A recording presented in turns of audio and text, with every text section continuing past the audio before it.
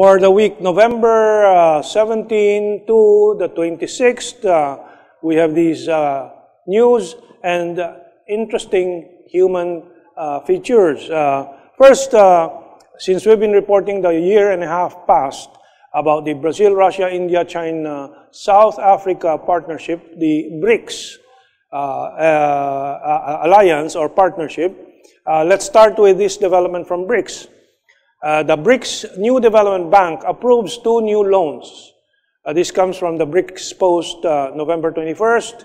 The BRICS New Development Bank uh, has approved two loans for a water infrastructure project in India, and the other is for a transport infrastructure in uh, Russia. The boards of directors of the NDB approved two infrastructure projects with a loan value of $413.8 uh, million during the 12th uh, Board of Directors meeting in Shanghai on November 20.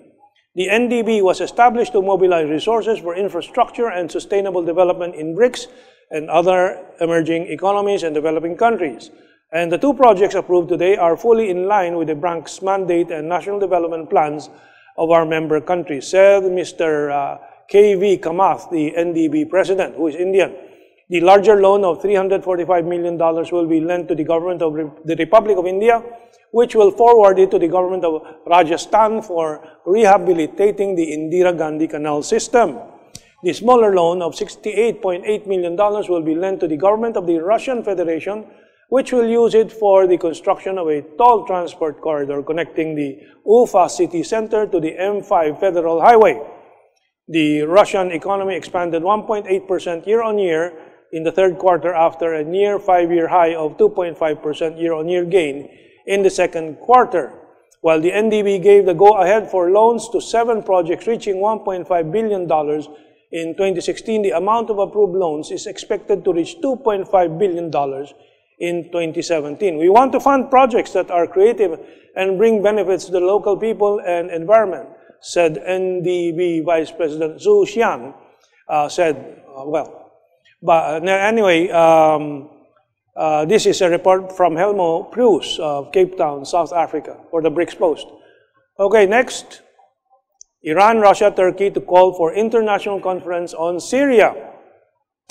And uh, okay, let's, this is the, the, the news item. The presidents of Iran, Russia, and Turkey have concluded a tripartite summit on Syria in Sochi and said there is real chance for peace now that the Islamic State has been largely defeated.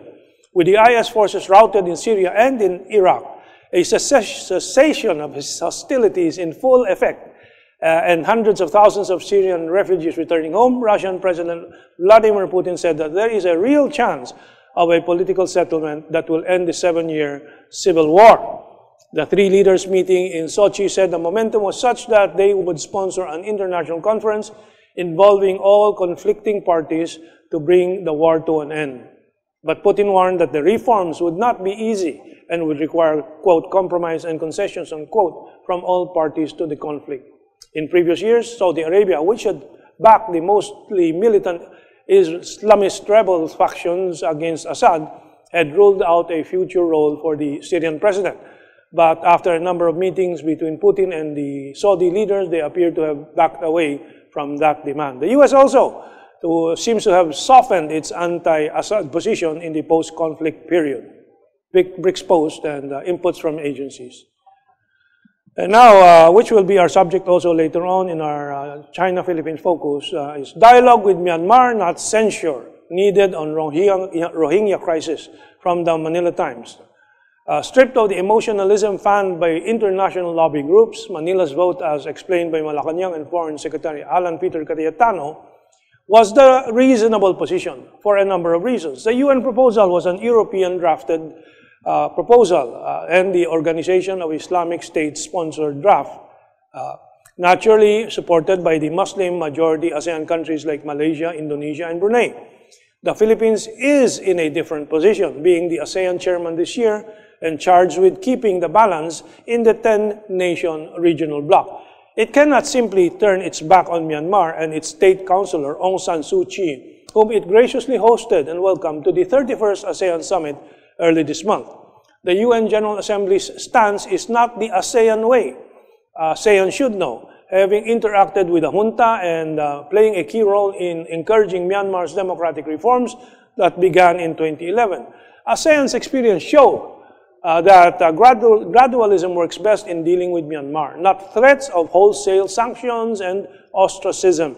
Cayetano pointed out on Monday that making huge demands on Myanmar, such as full citizenship to all Rohingyas without a reasonable vetting process, could harden Myanmar's military faction. Myanmar considers the call for full citizenship rights an insult to its sovereignty. It calls the Rohingyas Bengalis, or immigrants from Bangladesh. Forcing the issue could hinder the entry of humanitarian aid to the Rohingyas in the northern Rakhine state. China has presented a three-phase plan to resolve the Rohingya crisis involving a ceasefire declaration, talks between Myanmar and Bangladesh, which has been uh, signed just a day ago, and poverty alleviation. Okay, now uh, let's move on to the United States. Uh, the United States is defending its use of the term Indo-Pacific over the Asia-Pacific and says it reflects India's rise. The Trump administration has defended its use of the phrase Indo-Pacific instead of Asia-Pacific, saying it captures the importance of India's rise.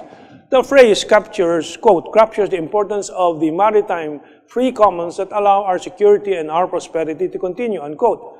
A senior administration, U.S. administration official told reporters during a media briefing last November 5 after questions were raised on the increasing use of the phrase, quote, Indo-Pacific, unquote, by the Trump administration and whether it is a strategy to contain the rise of China. Quoting again, containment, certainly not, unquote, the official said, saying that the United States is an Indo-Pacific power and dependent on the U.S. maintaining access for free flow of commerce to this region because it is a Pacific nation. The official stressed that this is a region that includes China, Japan, the Korean Peninsula, and Northeast Asia, it also includes Oceania, New Zealand, and the Pacific Islands, and the U.S. long-standing uh, ally, uh, Australia, in the south. India to the west, uh, they say the United States to the east, the official said. But my comment here is this. The word Asia originated from the ancient Greek word aoia, first attributed to Herodotus about uh, 440 BCE in reference to Anatolia or to the Persian Empire in contrast to Greece and Egypt. It originally was just a name for the east bank of the Aegean Sea, an unknown uh, and an, an, area unknown to the Hittites as Assuwa. Uh, we quote this from uh, uh, the internet, from Wikipedia. And then let, let me just add this. But India is not connected directly to the Pacific. And the list of continent, uh, well, that uh, we quoted from the list of continents and so on. Uh, so India is not um, uh, connected to the Pacific uh, directly, uh, and the term Asia is a Western uh, uh, creation to identify everything east. And that includes, even today, uh, that includes uh, all these countries, Korea, Japan, and so on, uh, the Indo-Chinese peninsula, meaning Vietnam, Myanmar, etc., and so on. To use Indo-Pacific is to try to put aside Asia when this is really the rising Asian century. So what is this attempt by Mr. Trump and the uh, U.S. State Department uh, to try to uh, rename this region? I think uh, personally I felt it a slight on uh, our region. Uh, and this will not change. This will be the Asia-Pacific region. Let's move on. And uh, we have two very interesting videos. Trump's granddaughter has a rival who speaks Mandarin like a Chinese news anchor. And uh, let's go on. Um, uh, as we all know by now, U.S. President Donald Trump proudly showed off a video of his granddaughter, Arabella, which we will show a little later, singing in Mandarin and reciting classical Chinese poetry during his first official visit to China. But recently, the daughter of another American businessman has been giving Trump's talented granddaughter a real run for her money. The Mandarin-speaking girl who has stolen the spotlight of, of, the, uh, of late is a blonde-haired girl nicknamed Happy, the daughter of world-renowned investor Jim Rogers. In fact, her Chinese is so good that many people have trouble believing their ears. Let's go to the first video of the daughter, uh, granddaughter of um, um, President Trump. Uh, are you ready with that? 李爷爷你好，彭奶奶你好，大家好，让我唱一个首歌吧。我们的田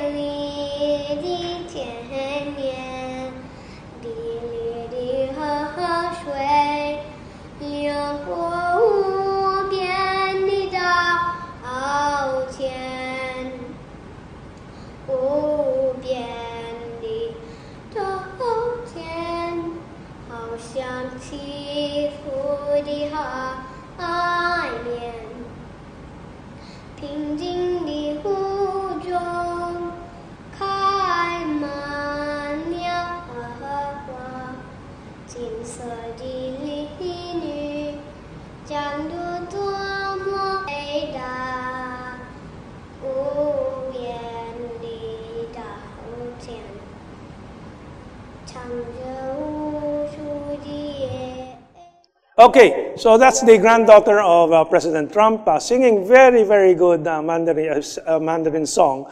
But uh, next video is the daughter of Jim Rogers, Happy. And she is fantastic. I wouldn't even dare to start a conversation in Mandarin with her. I will have to practice a year because she was born in China and um, she speaks as a native Mandarin speaker. Let's watch uh, Happy and her father. 你好. Hi everyone. I am Happy Rogers and I'm back. Today, I am going to be asking my father, Mr. Jim Rogers, a few questions. 大家好，我的名字是坏乐罗杰斯。今天我要问我的爸爸杰姆罗杰斯一些问题。我会先用华文问， 然后他会用英文回答。第一个问题，爸爸，你在你写的书里和电视上说你本来是不喜欢孩子的，那现在你有了两个孩子，这是怎么发生的？ I never wanted to have children ever.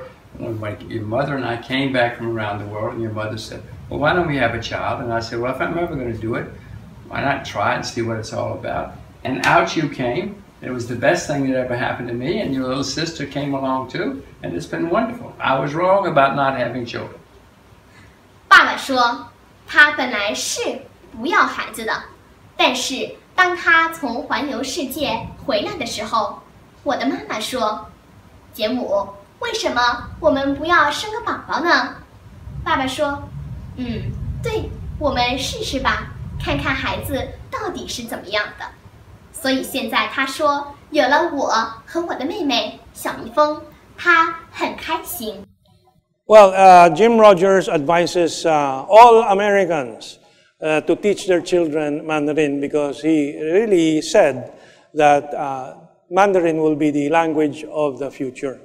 Well, uh, I have to tell you, uh, in order to speak like the daughter Happy of Jim Rogers, I would have to spend six months to a year again studying my, reviewing my Mandarin. So, anyway, with that, uh, you've uh, heard the news and views uh, for this week of um, November uh, 17, 18 to the 26th. Okay, we'll now focus on the Rohingya issue in our uh, Philippine-China focus, where the Philippines and China has taken, uh, have taken the same position on the Rohingya issue and proposed constructive measures to resolve the problem uh, in the region. Okay, let's take this break.